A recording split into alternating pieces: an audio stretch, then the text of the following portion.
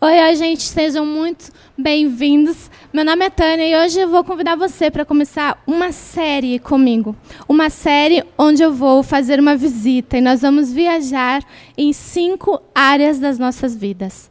Cinco áreas onde, nesses dez anos que eu me dediquei ao estudo e onde eu me encontrei com centenas de pessoas, eu vi que ou uma outra vai fazer diferença na vida de vocês. Uma ou outra vai ter um grande conflito em algum momento da vida de vocês. E na minha também. E hoje eu vou trazer para vocês. Bom, nós vamos começar uma série onde vamos dar um passeio nessas cinco áreas.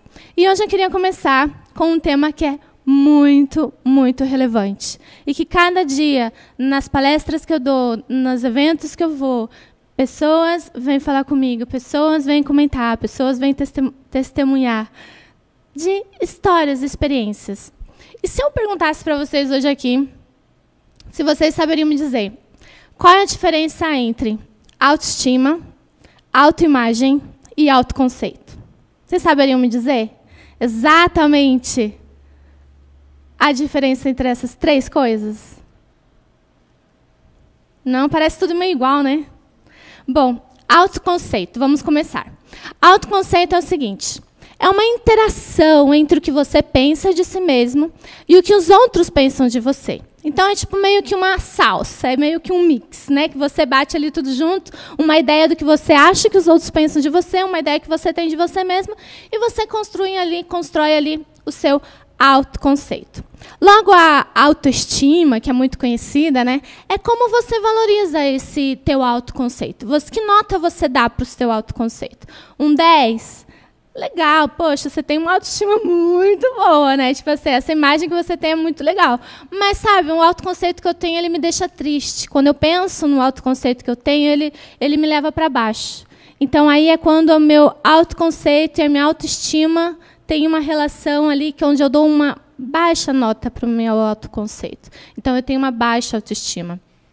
E a autoimagem é mais ou menos tudo aquilo que você se olha, como você se vê. Aquela imagem quando você se olha no espelho, quando você se olha ali no espelho, que imagem vem? Que autoimagem vem para você? Tem uma propaganda que eu não sei quantos já viram, que é muito engraçado. Eles pegaram um, um desenhador, né, alguém que desenha ali, que faz autorretratos, e aí colocaram uma cortina e pediram para eu mesma me descrevesse para ele. E depois chamaram outra pessoa, tipo você. Chamaram você na cortina e aí você dizia como eu era para ele. E resulta que o autorretrato onde eu mesma tinha falado como eu era, ele estava mais distorcido.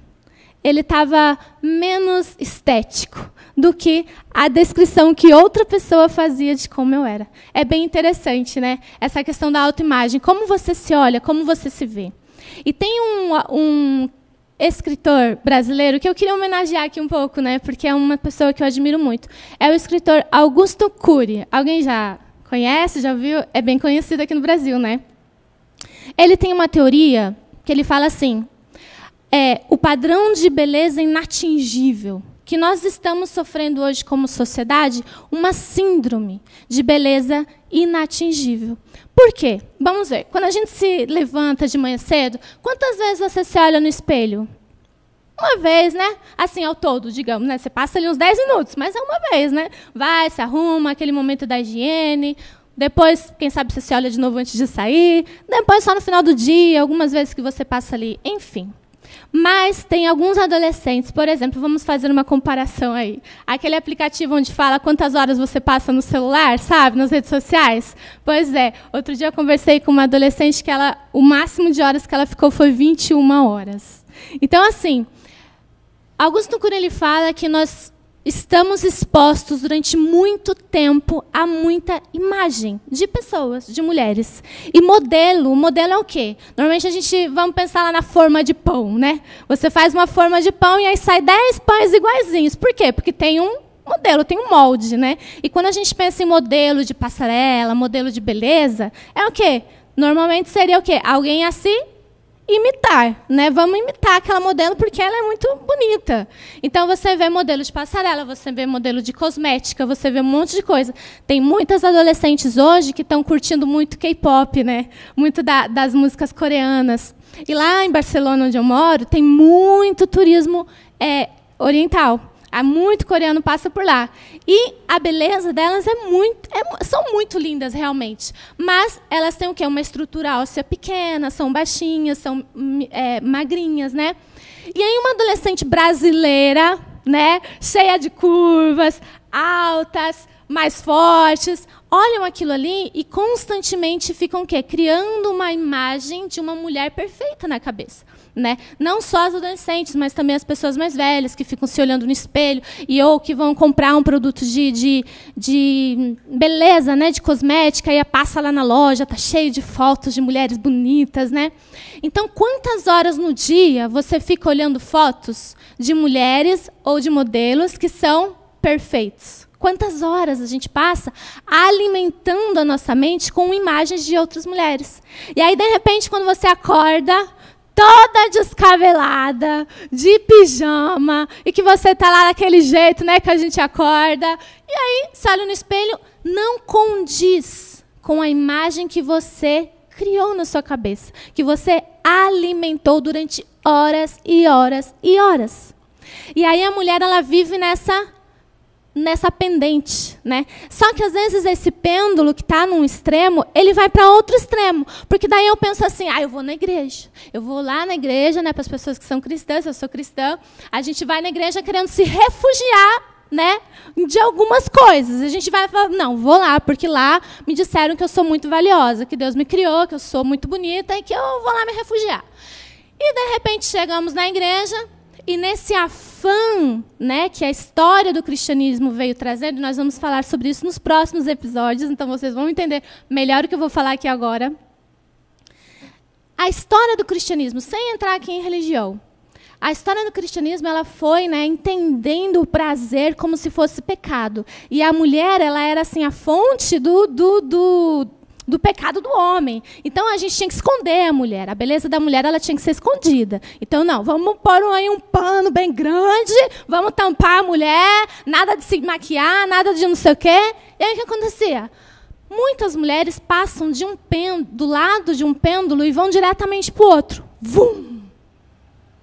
E chega lá no outro extremo. E aí é quando eu recebo muitas mensagens de muitas meninas que já chegaram num ponto de ter nojo de si mesmas, porque não se veem no espelho.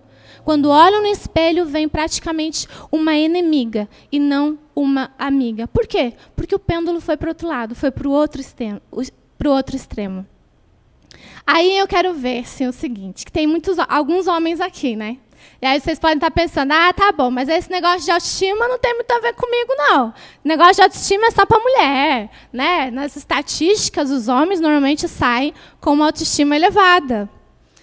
Vários estudos dizem isso. Mas, recentemente, também foram feitos alguns outros estudos, onde mostraram que, aparentemente, os homens têm uma boa autoestima. Mas, quando vamos lá mais na essência do homem, a baixa, a baixa autoestima está ali escondida, mas de outra forma. Então, de repente, um rapaz que teve aí alguns problemas na sua criação, de relacionamento com o pai, de, né, ou enfim, várias questões da educação, que não é o tema de hoje, mas de certa forma isso afetou a autoestima dele. Mas claro, como ele não tem esse problema físico, né, que é mais as mulheres que estão aí mais ligadas na beleza, essa insegurança e essa baixa autoestima, ela se revela de outras formas. Por exemplo, um esposo e uma esposa. De repente eles casaram, são muito felizes, mas a menina, ela tinha uma uma autoestima que estava ok, mas também não era a mais alta de todas. Mas, de repente, ela foi e ouviu uma, uma conversa dessa, por exemplo. Ou ela foi fazer um curso, ela leu um livro, ela fez terapia, e aí a autoestima dela começa a aumentar. E aí ela começa a dizer assim: sabe que eu tenho muito valor. E aí ela começa a destacar no trabalho dela. E aí ela começa a se arrumar. E aí ela começa a parecer mais bonita. ela começa a destacar e ela começa a ser chefe.